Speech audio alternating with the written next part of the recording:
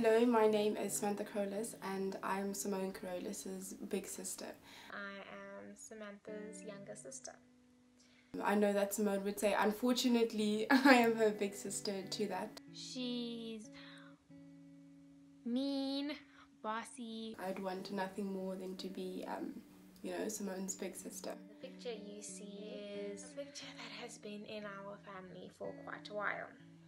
It's a picture that never leaves Sam's side.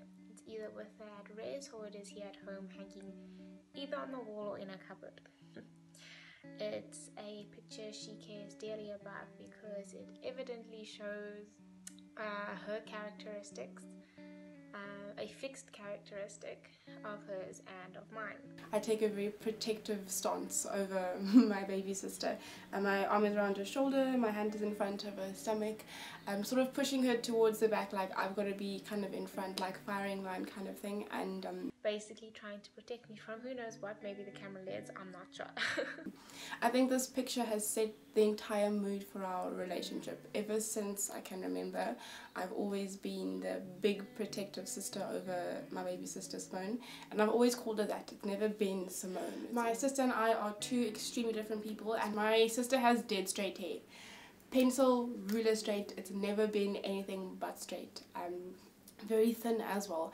And my hair as you can see is something entirely different. Bushy curly and I think that that just speaks to how different my sister and I actually are. Our childhood we were always together. We were never separated. Um, you'll see now pictures of us at parties pictures of us doing our hair together pictures of us going to school together. We were attached at the hip. Um, my sister is a very big part of who I am and my sisters are a very big part of who I am um, I'm a Carolus sister, I think, before I am Samantha. Um, and always together. We learned from each other, we grew with each other, we grew for each other, we taught each other. Um, just always very much together. My, my sister's always been sure of the fact that she wants to be Simone. Um, and the fact that she was going to do things her way and that she was going to grow into this person. Um, which is something I've I think that I've struggled to find and something that she's she's shown me. So I will be forever grateful to my baby sister for having taught me more than I taught her and having shown me that um, it doesn't matter where you're going as long as you know who you're going to be.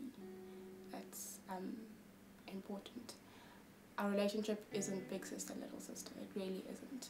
I'll always want to protect her um, and love her, but I think that she's been more of a big sister to me than I have to her, and I'll always be grateful, forever grateful for that.